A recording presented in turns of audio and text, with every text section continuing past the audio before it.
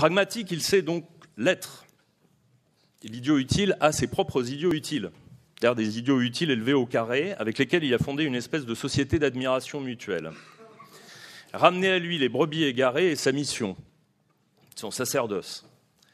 Venez à moi, vous les rappeurs djihadistes, les prédicateurs homophobes, les antisémites plus ou moins rentrés, vous serez rachetés de vos fautes si vous rejoignez le mouvement. Car oui, nous sommes unis par où nous avons péché. Vous l'avez? C'est bon. Nous pourrions continuer ainsi à égrener longuement euh, toutes les qualités de l'idiot utile, ce qui est un peu un paradoxe, puisque étymologiquement, un idiot n'est pas, comme l'usage s'en est institué, un simplet, mais c'est un homme sans qualité, ce qui est une assez bonne définition aussi.